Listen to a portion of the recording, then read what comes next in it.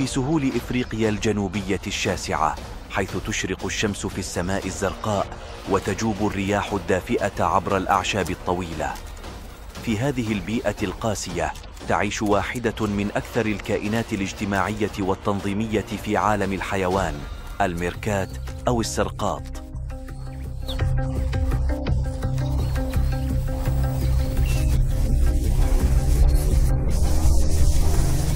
تعيش الميركات في مجموعات تصل إلى ثلاثون فردا في السهول المنفتحة القاحلة. وموطنها الأصلي هو صحراء كالهاري في أفريقيا الجنوبية. تبحث نهارا عن طعامها وتتغذى على الحشرات والعناكب.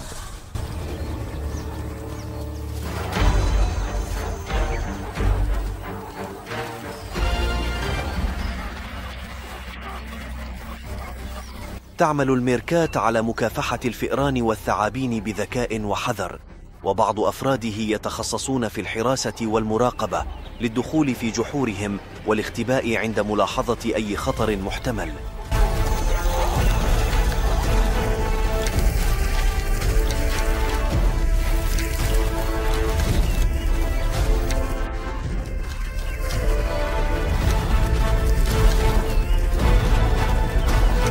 يجب أن تقضي الكثير من ساعات استيقاظها في البحث عن الطعام حيث من المعروف أنها تفقد حوالي خمسة بالمئة من وزن أجسامها أثناء الليل ولذلك يجب أن يتأكدوا من أن لديهم ما يكفي من الطعام كل يوم. الميركات سوف تقاتل حتى الموت. عندما تكون المخاطر عالية إلى هذا الحد كل شيء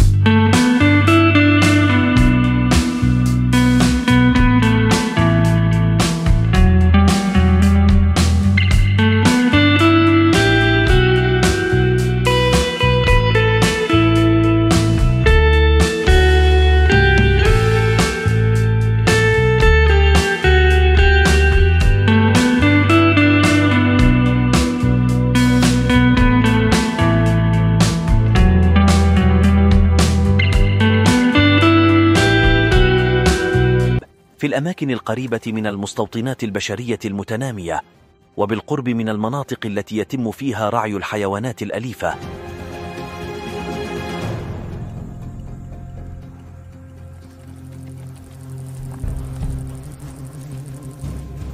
يتمتع بحاسة شم ممتازة تستخدم لاستنشاق الفريسة المحتملة الكامنة تحت سطح الرمال مباشرة.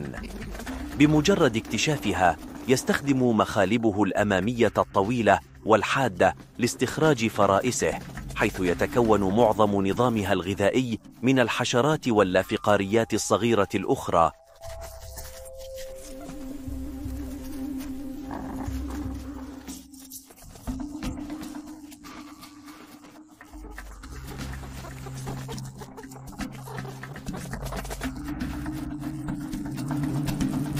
إنهم يمتلكون طعامهم بشكل كبير ويدافعون عن فرائسهم من الأعضاء الآخرين في مجموعتهم. يعيش حيوان الميركات في تعاون مع طيور العصفور الحبارة. فعندما يبحث الميركات عن الطعام يمكن أن تنبعث الحشرات والديدان من التربة مما يجذب طيور العصفور للتغذية على هذه الحشرات. في المقابل تقوم طيور العصفور بتنبيه الميركات إذا اقترب أي خطر.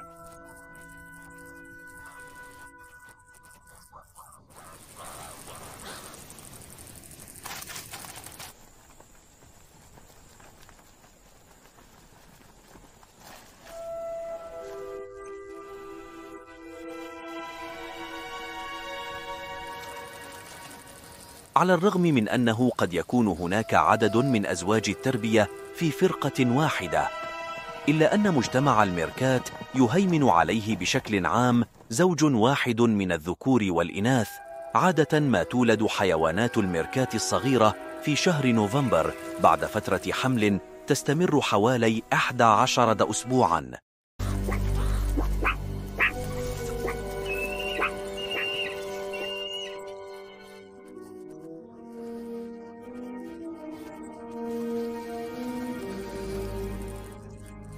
بعد أن تزاوجت مع شريكها في بداية الصيف تلد أنثى الميركات ما بين اثنين وخمسة مجموعات صغيرة في غرفة مبطنة بالعشب في الجحر تولد عمياء وبدون معطف الفرو الكامل. على عكس تربية العديد من أنواع الثدييات الصغيرة الأخرى يميل كل من الإناث والذكور إلى صغارهم مع الذكور والإخوة المعروفين للمساعدة في تعليم حيوانات الميركات الصغيرة مهارات البقاء على قيد الحياة في الصحراء المحيطة.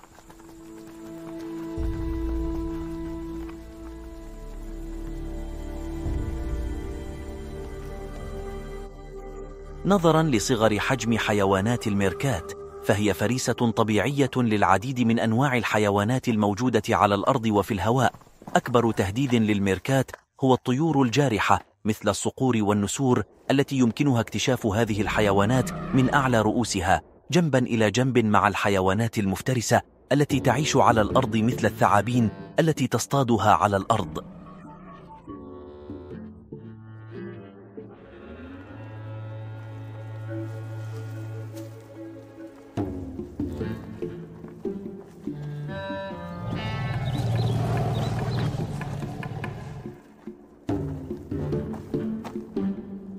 بالرغم من أن حيوانات الميركات نهارية إلا أنها تمتلك عادات نوم خاصة بها عندما يحل الليل يجتمعون معا في عشهم أو مخبأ مؤقت لقضاء الليل تقوم بتشكيل مجموعات مكونة من حوالي 20 إلى 50 فردا حيث يتواصلون ويتفاعلون مع بعضهم البعض أثناء الليل وعلى الرغم من أنهم ليسوا حيوانات ليلية إلا أنهم قد يكونون نشيطين بعض الشيء خلال الليل لأنشطتهم الاجتماعية والتواصل.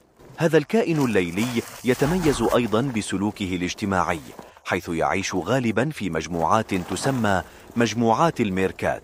تتشكل هذه المجموعات للتعاون في البحث عن الطعام والحماية من الأعداء. بالإضافة إلى ذلك تمتلك الميركات نظاما اجتماعيا معقدا يتضمن تبادل الروائح والتواصل الصوتي.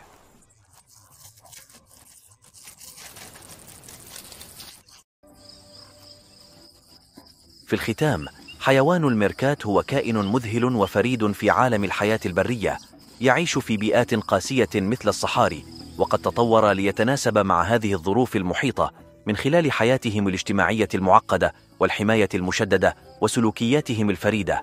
يثبت الميركات أنهم مخلوقات مليئة بالعجائب وتتضمن سلوكياتهم المذهلة التعاون المستدام مع طيور العصفور وقدرتهم على التكيف مع ظروف الصحراء القاسية. من خلال تكيفهم ومهاراتهم الاجتماعية يجسدون قدرة الحياة على التعايش في بيئات تتحدى الظروف القاسية.